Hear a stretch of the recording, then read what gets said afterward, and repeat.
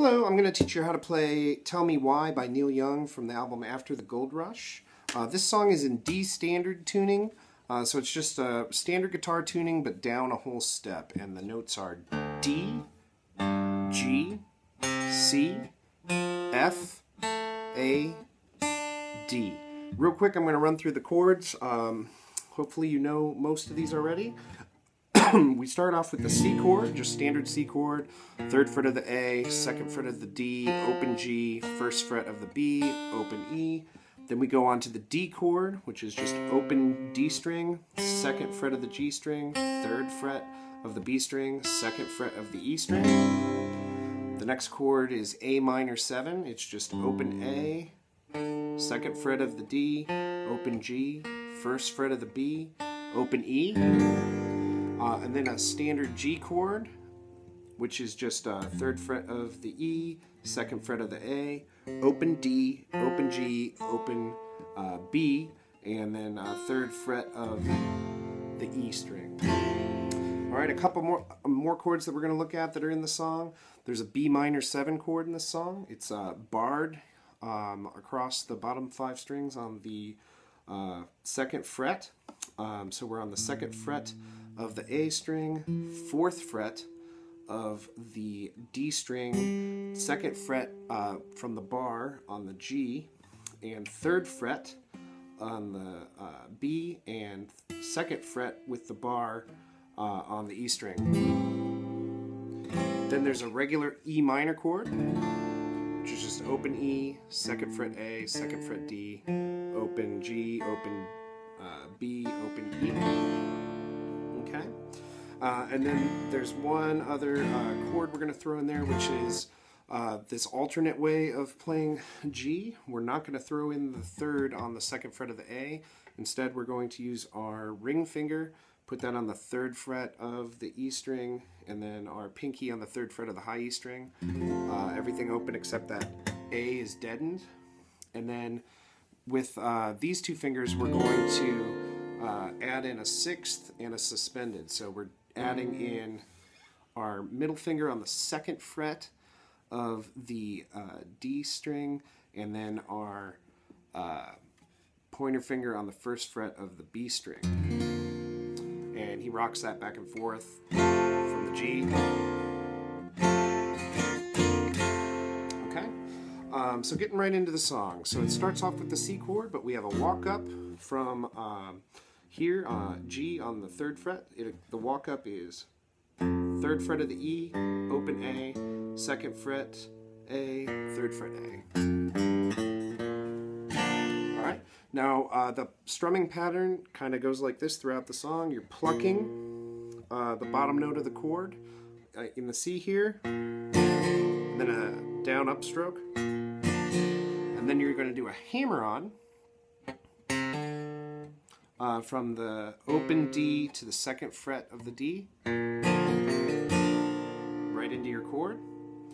Uh, and then right off the bat, in the beginning of the song, here's the hardest part of the song uh, for most people to get, which is uh, this next hammer on. After you do this, that's what it's going to sound like. So once you get that hammer on on the D string, immediately move your middle finger over to the second fret of the uh, G string. Kind of looks like this. And then with your pinky, we're going to hammer on up to the fourth fret of that G string from the second fret while holding the rest of that C shape. Um, and let's just take a look at the bottom three strings while we're doing this. Uh, we have second fret, first fret open, and then we're hammering on from that second fret of the G up to the fourth fret of the G while kind of strumming up on top. And then we're going to walk back down to the second fret and then open G. So it sounds. Okay? When you put it all together.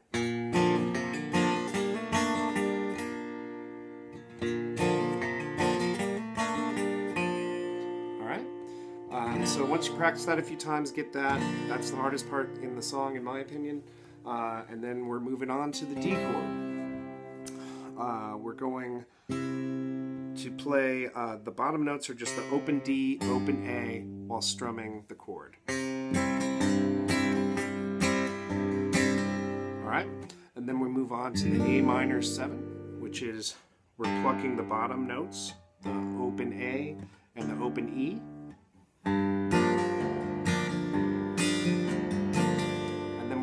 To that G chord. But this time we're going to hammer on uh, the third just like we did with the C chord. So on the A string, play it open, hammer on, up with your first finger to the second fret of the A, and strum with it.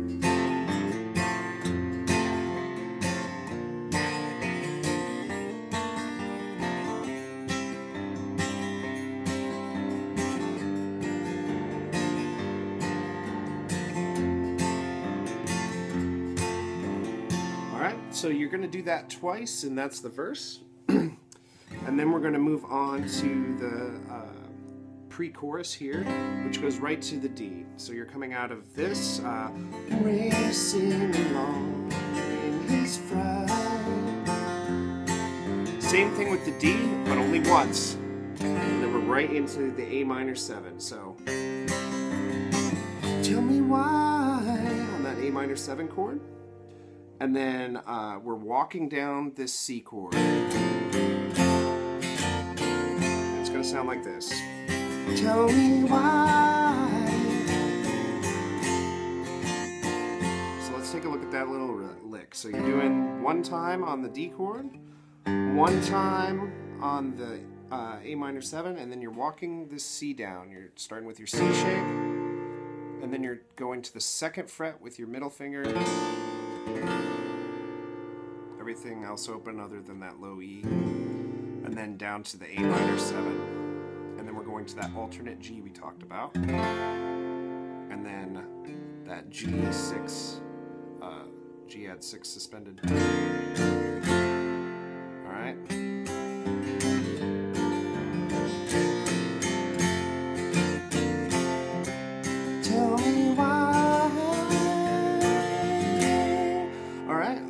So the last time you're just going from the A minor 7 to the C to the G.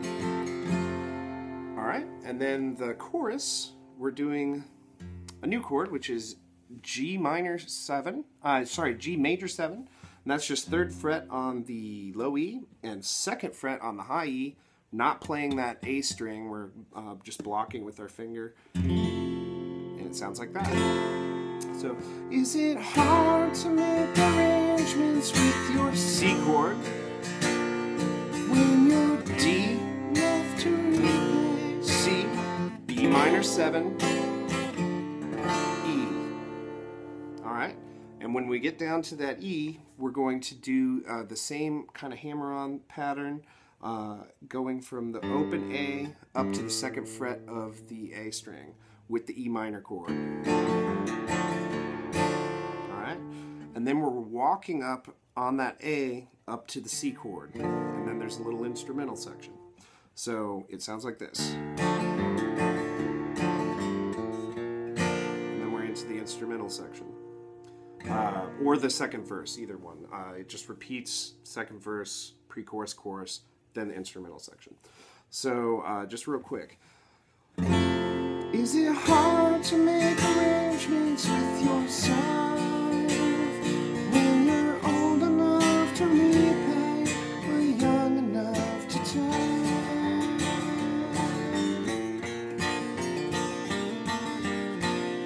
then we're back into the verse.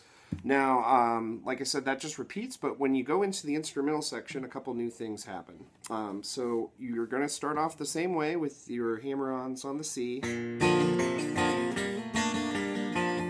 Same thing with the D, first time, but this time you're going to walk down from the third fret of the A, second fret of the A, down to your A minor 7. So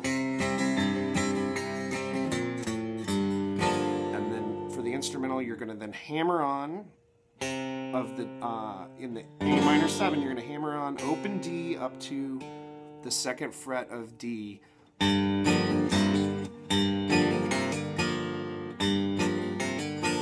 And then open open D while holding that first finger there.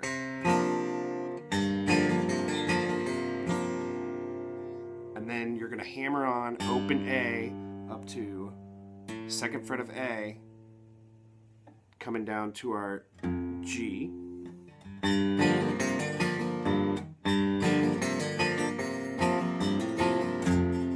Okay, so that's that's uh, open A, open D, hammer on to the second fret, open D, open A, hammer on to the second fret of A, to the G chord, and then we're going to do a couple more hammer-ons. So that's open A, hammer on to second fret, open D, hammer on to second fret, and then open G string. And then back down to the low G and strum. And it sounds like this. So the instrumental section, if you want to listen to it, sounds like this. Sorry.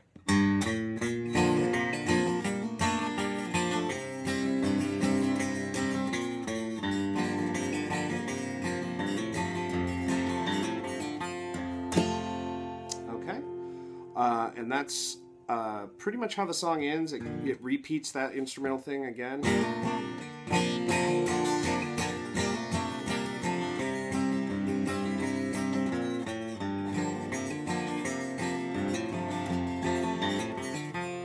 And that's how the song ends.